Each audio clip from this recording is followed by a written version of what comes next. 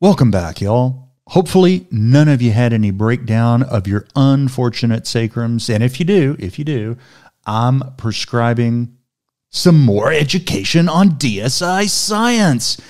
Because come on, y'all, let's face it, you are not going to be able to stay in your chairs for the rest of this education. So exciting. I, I can feel how excited y'all are. Now, if it's been too long for you to remember, in that first part of the video, we went over the evidence that says peri-intubation hypoxia is common and it's harmful and it's predictable and what we should do about it. Now let's dive into the evidence that supports each of the components of the DSI protocol. We're also going to discuss how this has worked out so far in real EMS life. That's right, y'all are not the guinea pigs. We're going to hear a bit more about DSI's track record at the end of this video. Enjoy, y'all. We know that placing the patient in a heads up position improves the percent of glottic opening. That's called POGO, percent of glottic opening. Now, Dr. Rich Levitan did this study and showed as the head elevation increases, so do so does intubating does do intubation conditions get better. Let's go with that. Head elevation also, it turns out, prolongs safe apnea period, delaying the time until SpO2 begins to drop. That's good. Now, in this study of healthy OR patients that have been adequately pre-oxygenated and paralyzed for their normal surgery, patients with the head elevated by 20 degrees took longer to desaturate down to 93%. In fact, they had over a minute and a half of extra safe apneic time just because their head was elevated. Well, how should we best achieve pre-oxygenation? Well, by using a BVM or non-invasive positive pressure ventilation. These provide better preox than a non-rebreather mask. In this paper by Groombridge, healthy volunteers were randomized into different groups that represent common pre-hospital methods of pre-oxygenation. The primary outcome was FeO2, and that's the fraction of expired oxygen. It's similar to end-tidal oxygen that we talked about earlier. Now, as you can see, both BVM and non-invasive ventilation performed much, much better than non-rebreather mask. That's why I want us to use the BVM. Using a nasal cannula under BiPAP or CPAP, turns out it does not increase air leak in a significant way, and it eases the transition from preox to apneic oxygenation. So using BiPAP, CPAP, or BVM with flush rate oxygen and PEEP improved pre-oxygenation and there was less peri-intubation hypoxia compared with non-rebreather mask alone. That's good. Now, in this study of critically ill hypoxic patients in need of intubation in a French ICU, patients were randomized to preox with either a non-rebreather mask or non-invasive ventilation using a ventilator. The group with non-invasive ventilation had higher pulse ox values at the time of intubation. They had higher pre intubation and peri intubation low sats, and the higher sats persisted up to five minutes following intubation. Good pre-oxygenation really works. Implementing a bundle of care aimed at good pre-oxygenation, that was associated with decreased rates of DSATs in this helicopter EMS study, down from 58% to 14%, and it improved intubation success from 89% to 98%, most likely because it de stressed the situation. Maintaining a preox sat of greater than 93% for more than three minutes, just like we've advocated, was associated with a 380% higher odds of first pass success without hypoxia. Very, very good. Well, speaking of apneic oxygenation, let's take a look. Turns out it works. It was associated with decreased DSATs in healthy OR patients. Let's talk about this slide because I love this slide. This was a study that Dr. Scott Weingart first made popular when he was talking about DSI, and I think it is incredibly informative. This study took healthy patients who were undergoing surgery for something, they paralyzed them just like they normally would. They intubated them, and then rather than in, uh, ventilating, they just grabbed oxygen delivery tubing, put it in the ET tube, and cranked up the oxygen no ventilation at all. And the goal was to see how long it would take them to desaturate. Now, looking at this table, you're going to notice some of those times are up to 55 minutes without any ventilation. Now, you may notice that these patients did not desaturate. The SATs, they never got low. Take a look at those pH values.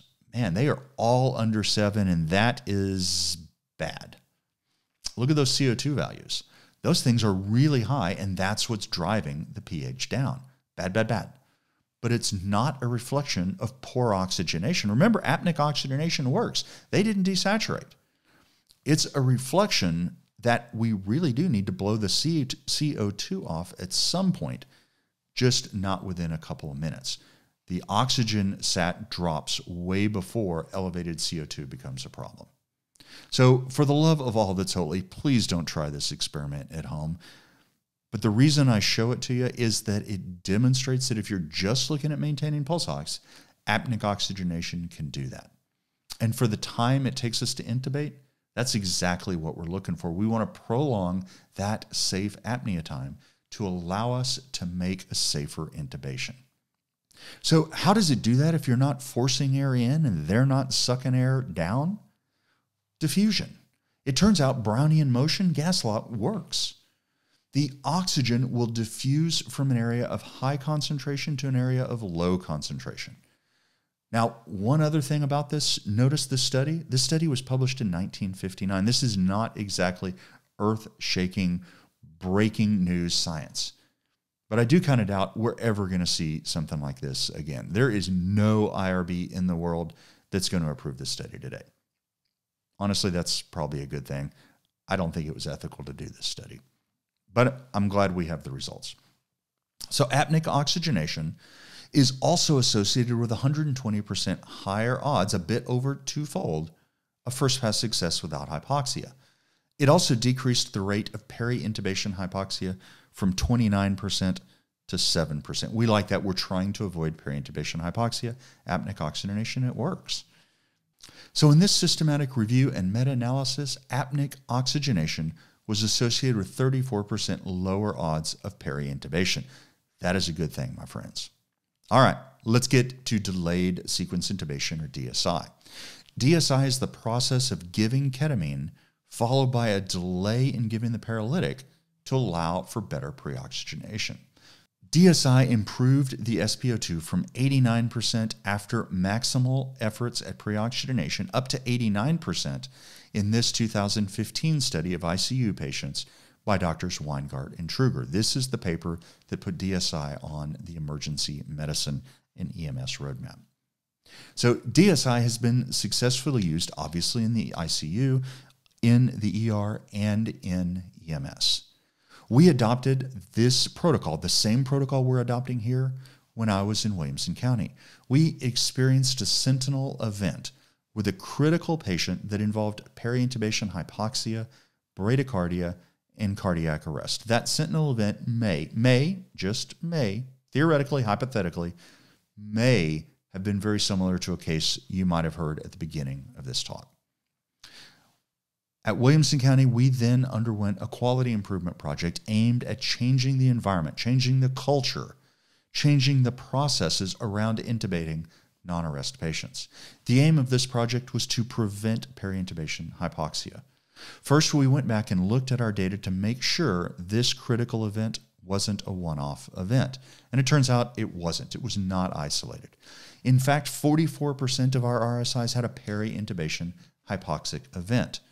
We found two additional cases, as a matter of fact, of peri-intubation cardiac arrest, and that put us right in line with the existing literature on how often this happens. The literature once again says that between 2 to 3% of all intubations end up in cardiac arrest, and almost all of those are driven by peri-intubation hypoxia.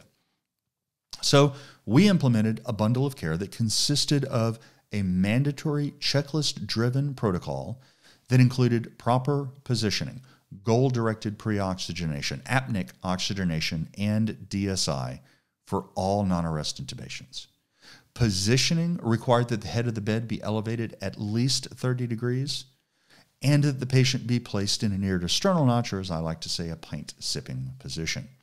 Goal directed pre-oxygenation, that means we used a BVM with PEEP valve and a reservoir with flush rate oxygen, of course, held with two position, two person thumbs down seal, lifting the mandible, not pushing, and achieving an SpO2 of 94% or higher for at least three continuous minutes. We use nasal cannulas to increase to flush rate after sedation with ketamine. So give them the ketamine, turn the oxygen all the way on. That's really what we mean by DSI. Now, DSI was performed with ketamine and rocuronium in all of our patients, and if we couldn't achieve goal directed or goal saturations, intubation was not allowed under any condition. If the patient needed airway protection rapidly, or if we couldn't hit our preox goals, then they aborted the attempt and moved on to a rescue supraglottic, using rocuronium if needed, but they went to a supraglottic. Now, the reason, and I get this question a lot, the reason for placing a blind insertion device like an iGel or an AirQ or a King LT is that they're faster than intubating. And there's good literature on that. And they're also more successful. And the patient is less likely, therefore, to have a rapid, rapid desat. So we published the results of this QI effort at Williamson County in Annals of Emergency Medicine in 2018. I'd like to tell you a little bit about it because this is the experience I expect us to have here. And I might add, in our trial, it is exactly the experience that we had in Williamson County. So we looked at 104 intubations that were done before we implemented the bundle, and we compared them to 87 intubations done after. The patient characteristics of these two groups was very, very similar. The primary outcome of the study was the proportion of patients who experienced peri-intubation hypoxia, and that rate, the bottom line, that rate dropped from 44% to 3.5%. After we implemented the bundle, the 25th percentile peri-intubation low, that increased from 74% up to 96%. That's really good. The rate of bradycardia, it decreased from 18% down to 2%. We graphically represent this change in pulse ox at the beginning of the attempt and the low sat during the attempt. This, this representation is what we call a waterfall plot, and I'm really proud of the code that we wrote to make this, so I'm going to share it with you. Each intubation is shown on this graph by two points connected by a line. The top dot is the SpO2 at the time the intubation began, and the bottom dot is the lowest the pulse ox got during the attempt. Basically, the longer that vertical line, the more desaturation there was. And you're going to notice that there are far more desaturations, far longer lines occurring in the blue before group than in the red after group. So our experience there clearly demonstrated that paying attention to the details of intubation, particularly achieving adequate pre-oxygenation, proper patient positioning, apneic oxygenation, goal-directed oxygen saturations, and DSI, can definitely statistically and clinically significantly decrease peri-intubation hypoxia. Now, that's not the only way to achieve this goal, but it worked really well for us. It's worked well for others. And as I said before, it's working well here too. We've now completed 14 intubations using this protocol during our trial here in Fort Worth. We've seen above 95% first pass success without hypoxia. Now, I just heard this morning that we had two additional DSIs last night. Both of those were first pass successes without hypoxia also. So when I say that we're going to intubate right or we're not going to do it, this is what I mean, y'all. And it's why I'm confident that we can do this here too, provided I give you the right tools. I don't think we were doing it before because we weren't giving you the right tools. I'm convinced these protocols are the right tools. I think you're really going to like this approach. The trial data is good. People involved in the trial really like it. And with it, I know that we can collectively assure there are no more cases like Mrs. Smith.